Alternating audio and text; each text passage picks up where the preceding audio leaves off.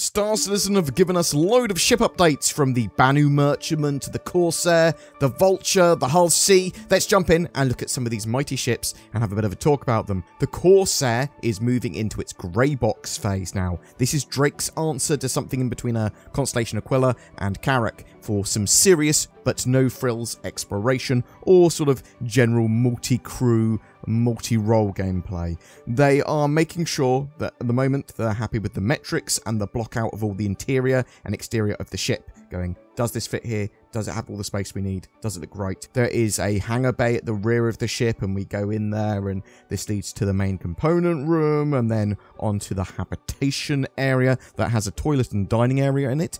Um, going towards the front of the ship, there's a, a then general access section. Well, leads uh, around the ship, but also to the cockpit. And the cockpit is planned to be built out first and then act as a style guide for the rest of the ship as well.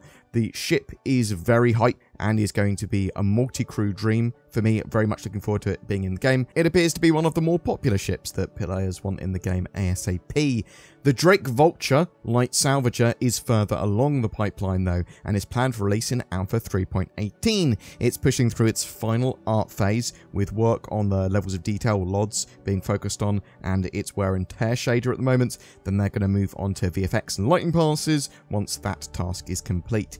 It's coming with its salvage mechanics, and that's going to be able to hull strip other ships, or at least salvage locations. We'll have to wait and see exactly uh, what the first iteration of salvage means because we will be able to do hull stripping by hand and with ships. But is it specific ships that have been placed there like a mining node? Or is it going to be all ships or only ships that have been disabled or destroyed? It's it's interesting because we don't know yet um in the first iteration anyway. Banu merchantman explorations continue. They're testing out the look and feel of internal rooms for the medical care center there. So that looks to have at least sort of two mid-tier or high-tier beds at the moment. In fact, there could be a lot more going on here because all of the rooms in the Banu Merchantman look massive. There's so much internal space. Obviously, they want this larger internal space because some of the aliens they might deal with might be a bit taller than humans, uh, and because they just generally like space and these ships. It's, it's a slightly alien big floating market. It's it's kind of cool. They showed off a security room or security area there as well, which is pretty massive, uh, and uh, a ridiculously large-sized washroom. They've been talking about having facilities in those washrooms for Banu and Xi'an too. They didn't mention Tevarin, I don't think, which is a bit of a shame. I want to see Tevarin toilets. Um, they are experimenting with the landing gear and the rigging for it as well. So uh, the gear is massive and looks like a backwards sort of animal leg. It, it's going to have to be able to take the hefty weight of the Merchantman and all its cargo. Um, so the Merchantman is making quite a lot of progress already. Uh, it's moving through the pipeline pretty quickly. Uh, it is in active development, but I'm expecting the grey box and final art phases to take quite a while. We'll have to sort of see how it goes this year. Um, there is work that's planned to complete for it by Q3 of this year, and we don't know what work will be needed for the ship beyond that. It is possible it could be a Q4 release, but I think that is unlikely. It's more likely to be early next year at the earliest, but I suppose we'll have to wait and see. Without a bit more context on the progress tracker, I have to read the animal bones. But I am surprised about how quickly it is making progress now. Uh, I'm looking forward to being able to make some money by trading on the outskirts of systems and having players and NPCs use the shops on board. I really want to run a flying supermarket, a flying little market, mobile market. If you want that, then this is your ship. Uh, the Scorpius Heavy Fighter has had one of its wings completed um, to the final art phase. They're then going to duplicate this or mirror it for the other three wings. The entry and exit points will work too, as did color tints. We can expect to see this heavy fighter with its very mobile turret in Alpha 3.17. Cloud Imperium then showed off the Hull C in more detail. Looking through its rather large interior, all the tech needed for the Hull C has now been completed, and the ship has been updated somewhat since it first entered the pipeline. It's pretty massive! And they also, at the same time, been working on a tractor beam and remote camera UI for it as well. So it sounds like we're going to be getting tractor beams out for ships reasonably soon. And that's pretty cool. It makes sense as there's a big cargo refactor going on uh, in uh, Q2 of this year, and they're going to want to get that cargo and uh, sort of similar um, sort of hauling gameplay all in a good place. The Hull A is coming out in Alpha 3.17, but they're going to keep on checking back with the Hull C. Um, on so Inside Star Citizen and with development updates. Uh, I'm still expecting it later this year, probably in 3.19, sort of like the Q3 patch is where I'm expecting the Hull C at the moment. Also, from Inside Star Citizen, there was an origin story for a Star Citizen community member that had joined the CIG team. Will Price is a gameplay capture artist. He was responsible for Raftron and uh, a, cave full of picos that no one's found yet, apparently. But also, he did the Doctor Strangelove styled missile ride too, and the sort of uh, work towards that, um, or at least some work on it. He was a freelance cinematographer and loved to work on music videos. He originally was a backer who pledged in 2016. Um, his ability to help build scenes for trailers, ship ads, and marketing is pretty awesome.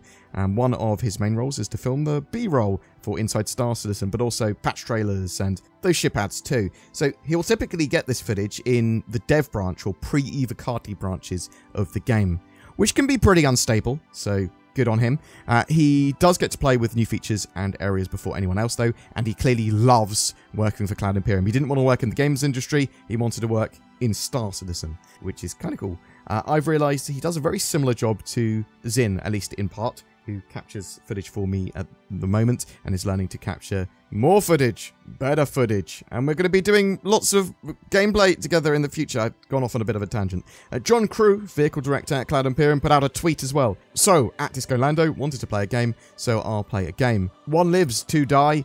The Battle Trolley, Orison Shuttle Ship, Cutlass Black Toilet. So the Orison shuttle ship, uh, one of these um, used for player transport uh, around Crusader, is currently winning that comedy poll. However, I do want a toilet in my Cutlass Black.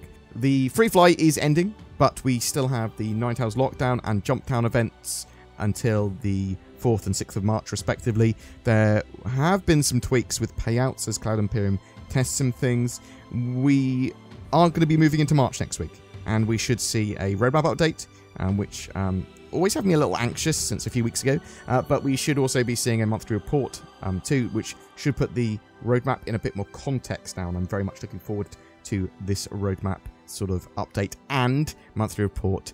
Um, especially. So at 5 p.m. UTC today, on Friday, the 25th of Feb, um, at time of recording anyway, there is a EUPU, so a um, Persistent Universe gameplay feature um, team talking on Star Citizen Live about gameplay features and uh, answering all your questions for all that. So that's on the Star Citizen Twitch channel, and I think it's going to be pretty informative. I will get a summary up of that on the weekend, but that should be some pretty exciting, tangible gameplay information there. Anyway, boom!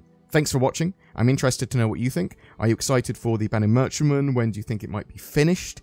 Um, it currently has work going on until mid-September on the roadmap. Could the stars align? Could it be a Q4 release? Is it something they might show at CitizenCon? Or is it something we might see next year? Because how could they possibly get such a big, complicated chip uh, in the game later this year? Are you looking forward to Alpha 3.17 as we move into March? Do you want to start hearing about the Apollo or the Polaris? And what is your favourite ship that has yet to be released? What have your thoughts? I'd love to hear from you in the comments below. Mummy, my friend told me at school today that that Star Citizen was a scam. Oh, Tim, is that why you got into a fight? Yes, Mummy. The only scam is people stealing all your internet infos and blocking your ability to watch things on Netflix and such with regional based access. That's why we use our words, Tim. You should have told those bullies to get NordVPN, and also that Star Citizen is the best damn space sim ever.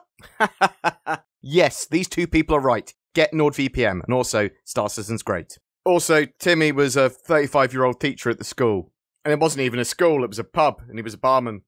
Every month we have a ship giveaway, and for February 2022, it's for an Aegis Sabre, the high tech medium fighter with loads of firepower. But it comes in an auspicious red paint scheme as part of the Red Festival, as well as lifetime insurance and a Star Citizen game package. All you need to do to be in for a chance of winning is comment on any of my videos made during the month. You can further support the channel by clicking the join button underneath any of my videos. You can also donate or become a Patreon. Your feedback, though, from comments really helps the channel. Don't forget to like and subscribe. And also, if you're looking for a diegetic little controlly boy, um, that makes your Star Citizen experience and potentially some other games pretty good fun on your touchscreen devices, then check out GameGlass. You've got that, you've got NordVPN links, you've got loads of other stuff, Oh, all in the links below. Click them all. Click them all. Maybe not all of them, that would be madness.